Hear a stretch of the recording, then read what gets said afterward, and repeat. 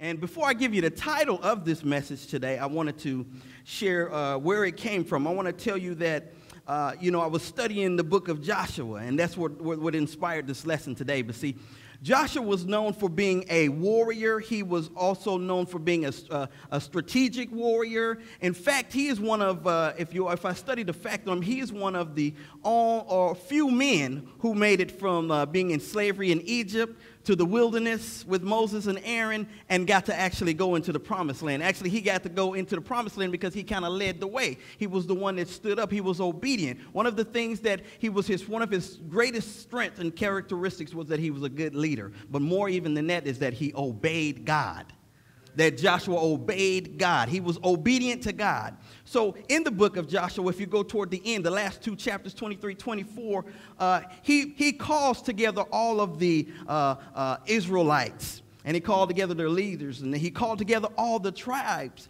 and, and he's saying you know i'm getting older in age because he's their leader i'm getting older in age but i need to remind you of some things i need to remind you of who we were i need to remind you of the promise that god made to abraham uh, and isaac and jacob i need to remind you that we were in slavery but god is the one who brought us out i need to remind you that we were stuck in the wilderness but god helped us get through that and i need to remind you that even all the battles and things we've been through in, in life god has brought us out he's been faithful to us. So it's time to remember what he has done for us, and we need to continue to be faithful to him. This is Joshua speaking. And he said, And I have a message for you. This is why I've called everybody together. Uh, we need to remember these things, and we need to be obedient to him. He's going to lead us, he's going to help us. So don't go right, don't go left. Stay on the path that God has for us, and he will bless you.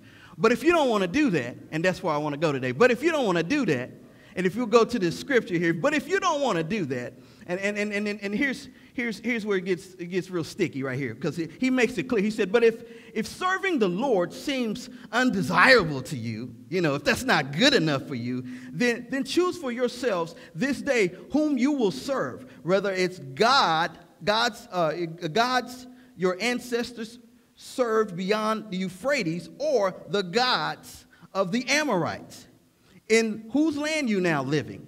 But then this is the important part. He says, but for me and my household, some Bible say me and my family, we will serve the Lord. He says, but for me, you guys can do what you want to. See, I just told you that you need to be careful. I just told you that God is going to do a great thing. I just told you God did all of these wonderful things for you. And you should be thankful. You should be praising Him. And we've been in contact with all of these different tribes and different religions, and now they got these different gods. But you need to remember who the true and real God is. And, and if you forget, that's on you. But see, as for me and my house, we're going to serve the Lord. So throughout this lesson today, this is what we're going to do. I'm going to say, as for me and my house, and I'm going to say, you finish it, and you're going to say, I, I didn't hear you. That didn't say what? So, so let's try it. As for me and my house, we. Okay, as for me and my house,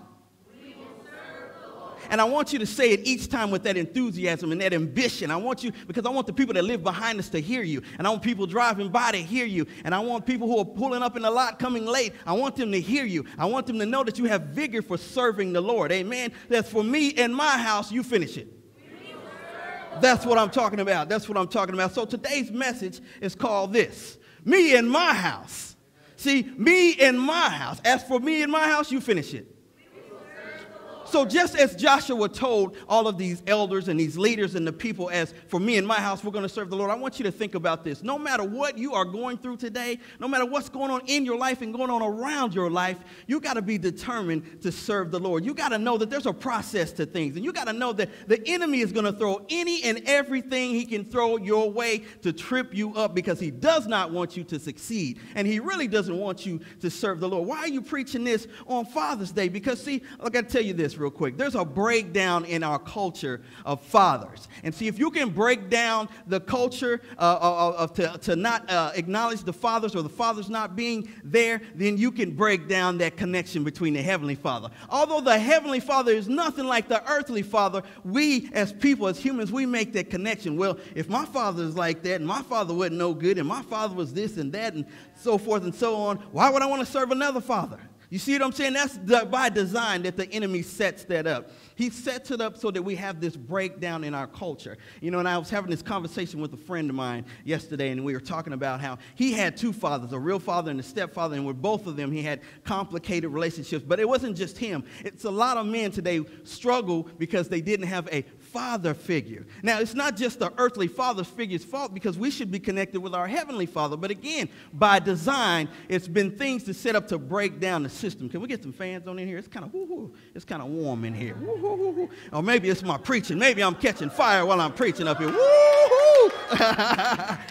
but we got to understand that and we got to know that that's a battle that we got to fight every day. You see, when Mother's Day comes around, we are excited. We give our, we plan that thing three months in advance. We're going to take them out to dinner. We're going to give them flowers. We're going to love them. We don't give them, we're going to buy them rings and bracelets and jewelries because our moms deserve that, do they not? Our moms deserve that. Absolutely. Our women are strong. They are mighty. God created woman to be, to, to complete the man.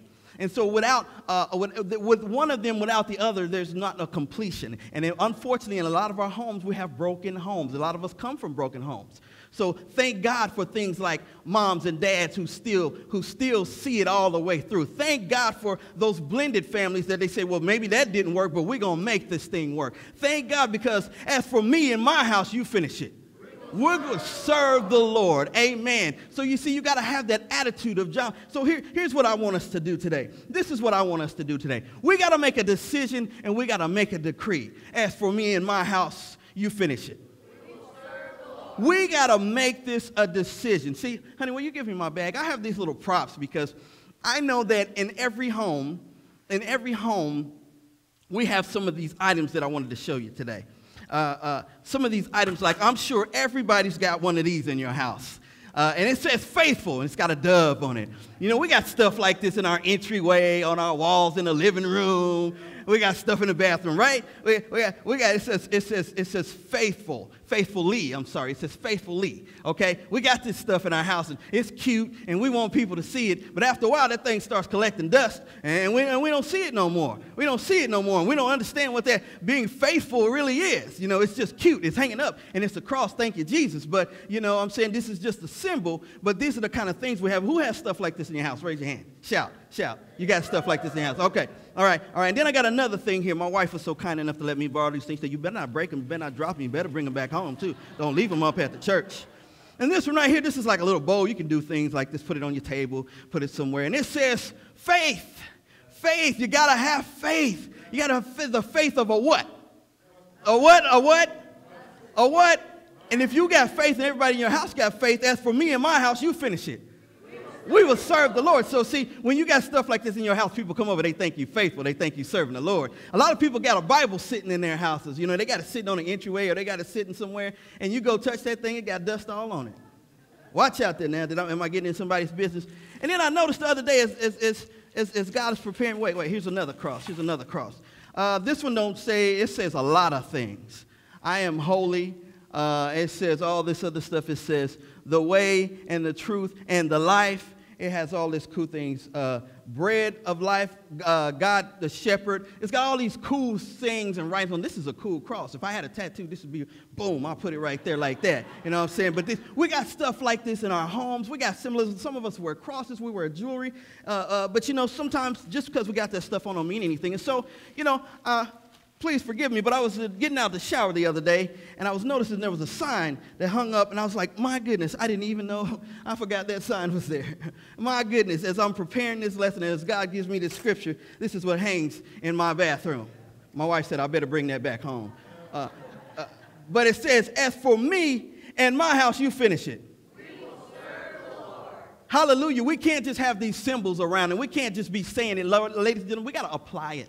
We got to apply it to my, uh, to my life, your life. We got to apply it. We got to serve God. And that doesn't just mean on Sundays or Wednesdays or when somebody from our church see us. We need to always be serving the Lord in the workplace, in our neighborhoods, no matter where we go. And you don't have to preach and spit on people like I say all the time. All you got to do is live with love. All you got to do is love people, and they will see the God in you. Amen? They will see the God in you. And all they got to do is see your kids. Even though our kids don't do everything we want them to, they don't act like we always want them to, they don't always represent.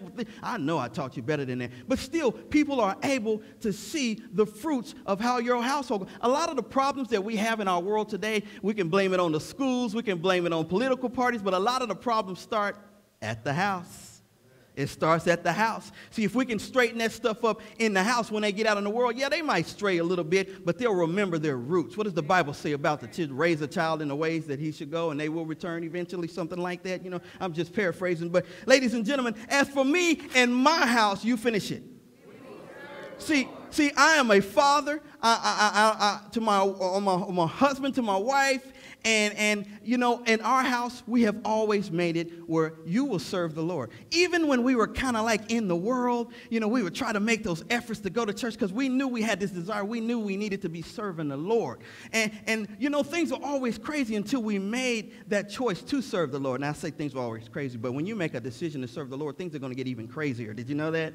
It makes you want to back off a little bit like, oh, wait, dang, maybe we should stop going to church. Maybe, dang, maybe we should stop praying. Maybe I shouldn't be in that word. I don't want to be responsible for the things that the enemy is going to throw at me. But see, Joshua, he had this attitude. Remember, I told you he was a warrior. He had his gift, one of his gifts was he was a strategic planner for war. That's why they were able to go in and conquer all the land of Canaan when they did. In fact, God gave him this crazy strategy one time that they were going to go to some place called Jericho. And the way they were going to defeat that thing was were going to walk around it and march and, and shout and blow trumpets. What? What kind of battle strategy is that? But do you know that it worked? Because he was obedient to God, don't matter how crazy it sounded. And ladies and gentlemen, we're going to go through some crazy things in life, and God's going to give you some crazy ideas, but you must be obedient. Because as for me and my house, you finish it. Okay, you got to be willing to do this. And I want to give you a couple of instances in the Bible where there's, there's this attitude, the same attitude. It wasn't this scripture, but they had this same attitude. In fact, these two occasions I'm going to tell you about is in the book of Daniel, one of my favorite books. But if you go to Daniel 6, for example, I'll give you this. Daniel had this attitude as no matter what's going on around me, no matter what's happening to me, you see, because Daniel and his friends, Shadrach, Meshach, and Abednego, and several others were brought over as slaves. When King Nebuchadnezzar brought them over, they were slaves. Did you know that? Some people, if you do that, strip them out of their land, take them away from everything they know, make them learn a new language, they would just break down and just be pitiful. Not Daniel, because see, he had this attitude of, as for me and my house, you finish it we will serve the Lord. So, because of his attitude of serving God, and no matter what was happening to him or around him or to his people, he got favor with the Lord. And because he had favor with the Lord, the Lord gave him favor with man. So, he had favor with the king, Nebuchadnezzar, who was a crooked, stubborn, knuckle headed king. I mean, he just didn't get it. But, but because of Daniel, God was able to get to this man because of Daniel's faithfulness and because of his attitude of, as for me, I'm going to serve the Lord no matter what. So if you skip, you know, he went through Nebuchadnezzar, then he went through this Belshazzar guy, and that guy didn't last very long because, you know, he, he, he started playing with God and he got what was coming to him, okay? And so the second time he, or the third time he runs into this uh, king, they called him Darius the Mede okay, this Mede and the Persians, okay? He runs into this, this king, and then God gives him favor with him. In fact, he liked Daniel so much that, uh, you know, they were, he, he divided the kingdom up into provinces. And so when he divided them up, he put Daniel and, and some of these up. Daniel was doing such a fabulous job. He's like, dang, this dude that serves that God of uh, Abraham, Isaac, and that Israelite God, whatever, this, this guy is for real. He's serious. He's on point. He's faithful. He's trustworthy. He just, man, no matter what's going on in his life, he is a faithful man. He is faithful. So you know what I'm going to do? I'm just going to put this guy over everything. Uh-oh, watch out there. You're going to put us over everything? That means some people got to submit to him. So you know what happens when you got haters? Haters. They drinking haterade. You know, haters. They got real upset about this. And they say, we got to figure out a way to take this guy down. We got to find some dirt on him. Guess what? Couldn't find no dirt couldn't find well maybe he's got a scandal let's look on facebook and see if he got some pictures you know doing something he shouldn't be doing you know, they were just trying to find dirt on Daniel and they couldn't find any dirt. So they said, We got to figure out a way to trap this guy. You know what we can do? We can use his own faith and his faithfulness and his religion against him. And before I go any further, I just want you to know this. When you're a Christian, when you decide to be a Christian, the enemy is going to try to take you out in any way he can, using anybody, anything. He will try to take you out. And some of you are experiencing this, some of you have experienced it, some of you will experience it. People will try to take you down. You can be faithful, honest, good, and it feels like, man, what's the point? Everybody else is crooked and warped. And what's the point of me being a good guy or a good girl? What's the point? It doesn't doesn't seem like it's effective, but it is because God still sees you and He will reward you. God will reward you. Because as for me and my house, just wanted to make sure you guys were still awake and paying attention. Amen. So anyway, going back to Daniel, so they figure out how can we trip this guy up? You know what? You know, he's always praying. He's always praying. You notice he prays a lot? That man's always praying. He's a faithful prayer. Maybe we could, you know what? Let's go to Darius the Mede and see if we can't convince him to make a law that you can't, for 30 days, no praying to any other God or any other person. How about we do that? And so, you know, if you're a king, if you got a lot of power, sometimes you're easily influenced when people stroke your ego. So they went to him and said, you know what? You've done such a fabulous job. How about we do this? For 30 days, let's make a law Let's make a law that for 30 days, no one can worship or pray to any other God or any person but you. He said, Oh, you know, that sounds like a good idea. That, that sounds like a good idea. I like that. Let's do that. He said, We got to make a law that if anyone does, they get thrown into a lion's den. And they're like, Yeah, I like that. I like that. Let's do that. Let's do that. So they do that. They make a decree. And sure enough, faithful as Daniel is, and he's thinking to himself, I know what was set up, but as for me and my house, we, I'm going to serve the Lord. That's what Daniel's attitude was. So he went and he prayed, and sure enough, they caught him. Now, how were they going to catch him? You know how they caught him? They had to be watching him, right? Waiting for him to do what they know he's going to do and know he's faithful with so they can trip him up with it. But here's the thing the enemy has to do that. If you're so good and you do what you know you're supposed to do, the enemy will make stuff up to get you in trouble. And that's what they did here. They made something up to get him in trouble. So then they go back and, and they say, hey, Darius the Mede, oh, Almighty One, didn't we just make a law that said nobody can pray for 30 days to anybody or any God except you? He said, Yep, yep, that's what we said. He said, Well, that dude, Daniel, he's over there praying, praying to his God. And he was like, Oh, snap. But I like Daniel. I like Daniel. And they like, But you said, remember what the law said? But you said. So guess what they had to do? They had to throw Daniel in the lion's den. And the lions were hungry. But you know what? Because of Daniel's faith, because of his attitude of, as for me and my house, you finish it. We will serve the Lord because of his attitude that no matter what's going on around me, no matter what it looks like, no matter what it feels like, I'm going to continue to praise him. I'm going to continue to worship him no matter what's going on. I don't care what they say, what they say. My God has been faithful to me. Come on, if you know he's been faithful to you and you know you've been through some stuff and God has still brought you through, you should be giving him a praise right now because God is good. He is good and he is faithful. He is trustworthy. He's the same today yesterday and forever. That's the God that we serve. Amen. That's the God. So Daniel had this attitude, but because he had this attitude and he got dropped in that lion's den, the king Darius is sick because he's like, that was my man. And I was getting ready to put him on there. That's my man. I can't believe I had to do that to him. However, because of God, the God we serve, those lions didn't touch him. I think they left him in there for a few days. They left him in there for a few days, and it just didn't happen. Finally, the king was like, pull him up out of there and y'all get in there, the people that set him up. So they got a. So that's what God will do for you and your enemies when you have that attitude. Let me give you another story in Daniel. If you go back a few chapters, if you go to, if you go to Daniel 3, if you go to Daniel 3, uh, uh, it tells a story about those other friends that were with Daniel that were just as faithful, and their name was Shadrach, Meshach, and Abednego. And you see, one time this king, we're going back to the king Nebuchadnezzar now, he said, uh, you know, y'all going to serve this statue that I built. Well, it's a long story there, but he built a statue, the one that Daniel told him not to, the one that God warned Daniel to tell him and warn him not to build, but he built it anyway. And he said, everybody need to worship. And kind of the same thing. Nobody worship anything else but my statue. And these guys are like, we're not worshiping that statue. I'm sorry. And so you're not going to worship. In fact, they got brought before the king. Like, they're telling everybody else they're not going to do it. And they're like, okay, well, let's take it to the king. Let's take it to the king. See how bad, big and bad you're going to be when you're in front of the king. And they said, he said, so I'm going to give y'all a chance here. Basically, this is what he did. And I'm paraphrasing and I'm going along just for the sake of the story. And, and he says, Now, you know, I'm kind of giving y'all a chance here. You said, What? They said, Yeah, sorry. And they were really kind about it. They were really respectful, no disrespect. In fact, they were like, Your Majesty, we just can't. We can't. Because of the God we serve, we can't bow down to your statue. We can't worship anything else but our God. That statue ain't did nothing for us. That statue ain't brought us through hell and back. That statue has done nothing for us. And I guess he's thinking, Oh, hell and back. Okay, well, how about this? I'm going to light up a furnace for y'all. I'm going to make the furnace the hottest furnace that you've ever seen. And I'm going to throw y'all in it if y'all don't act right. Now, I'm going to give you a chance here. Y'all go ahead and start that fire. Get that thing started. Get it the hottest you've ever gotten it. Get that thing out. I'm going to give y'all a chance here now. You going to bow down on my statues? We can't. We can't. You see, Shadrach, Meshach, and Abednego had this attitude as, as for me and my house, you finish it.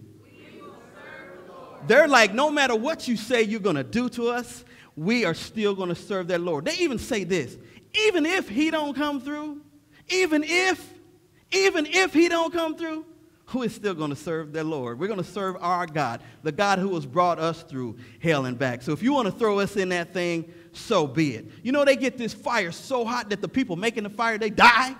It's so hot they can't even. And then when they get ready to go throw these guys in it, the guys that's trying to throw them, they die. I think they finally say, Y'all go ahead, we'll walk on in. Forget it, we'll walk in. Y'all stay back so y'all don't get hurt. They walk in this thing, and it's Shadrach, Meshach, and Abednego. There's three of them. All of a sudden, there's a fourth. Who that in there with that? Who is that? Didn't we just put, this is the king, didn't we just put three of them in there? What's the fourth one in there? The presence of the Lord. The presence of the Lord, Jesus Christ, the Savior. You see, no matter what fire is going on in your life, if you take on the attitude, as for me and my house, you finish it. I said, as for me and my house, you finish it. If you take on that attitude, you're going to go through some stuff. And people are going to look at you funny. They're going to treat you funny. They're going to act funny to you.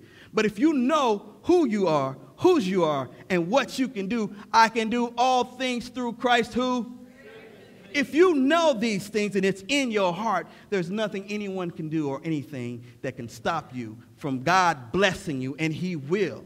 God will bless you no matter what it looks like. Oh, this ain't looking good. They think, oh, I hope God can pull us through. How many of you know? How about this? Testify. How many of you have had a moment where you're like, I don't see how this thing gonna work out? This ain't looking good. I think this might be the one time God won't come through for us and he shows up and he shows out. Can I get a can I get an amen? All right, can I get an amen? God has been so faithful. I get to the point now where I just stop worrying. I might, I'm human, so it's not like I'm not going to get that rising up in me. But then I get to thinking, I was like, what happened the last time where I thought it was impossible and God came through? And I don't, and I still can't give you a logical explanation of how it worked out. All I can tell you is God came through. Well, can you give me some details? I really can't. Well, can you explain it? Just like when my wife and I decided to step out on faith and decided we were to, I was going to go into music ministry and I'm going to quit my job of 17 years with all free benefits and, and, and uh, I don't know how many weeks of vacation I had. I'm gonna leave that all behind to go chase ministry. Uh, you know, yeah. I, we added that thing up on paper, and it just, woof, that don't look right. That that I we'll lose the house, we'll lose the cars. We probably wouldn't be able to eat. That just don't look right. But let me tell you something God is faithful. Not only did He see us through that thing, we ended up having more money than we ever had. Although it didn't look right, it didn't add up in my tax bracket. It's like, I don't see how we're surviving. I don't see how we're surviving and then some. Because God is faithful no matter what it looks like, no matter what's going on in your life. If you have this attitude that, as for me and my house, you finish it we will serve the Lord when you take on that attitude. I'm telling you, it's like a, oh man, a battle ram. Just boom, nothing can get in your way. Boom, like a tank.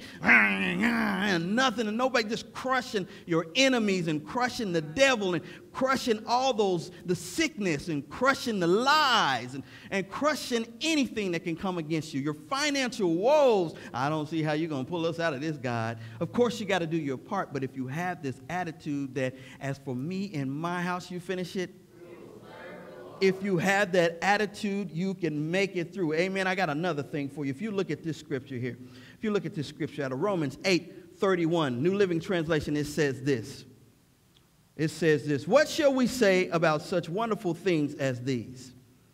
If God is for us, who could ever be against us? If God is for us, who could ever be against us? I want y'all to say that with me. If God is for us, who could ever be against us? I want y'all to say it one more time. If God is for us, now I want you guys to stand up. Everybody stand up.